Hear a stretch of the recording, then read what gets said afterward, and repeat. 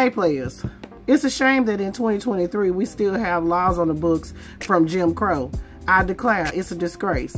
So finally, Mississippi lifetime voting ban has been struck down by the Fifth Circuit.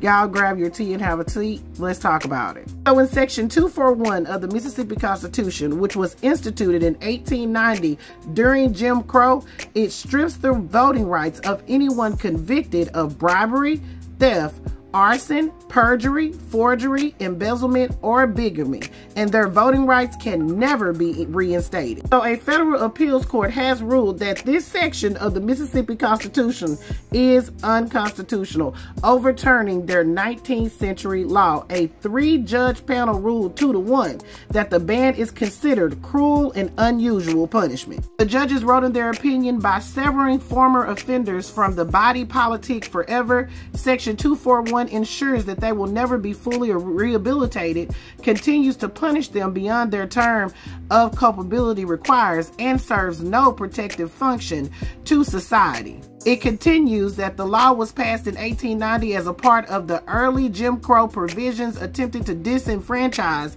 and limit the rights of black residents. An attorney for the Legal Defense Fund said that today black Mississippians continue to be disproportionately harmed by this provision.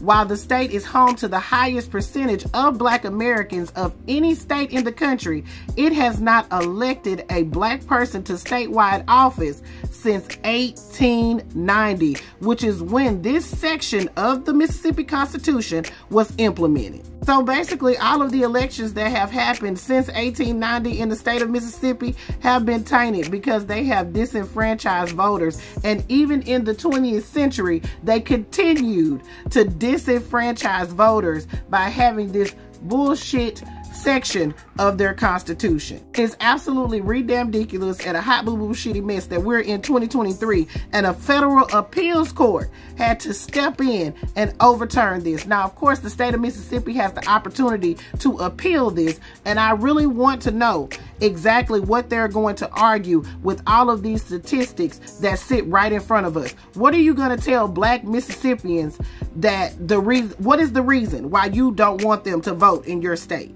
I keep on trying to tell my people, that's black people, okay, because I am black, that you voting matters, okay? Because if it didn't matter, they wouldn't continue to try to keep you from voting. Make your voices heard every single time you get a chance. I'm talking about in every single election. You should be doing your research and you should be voting.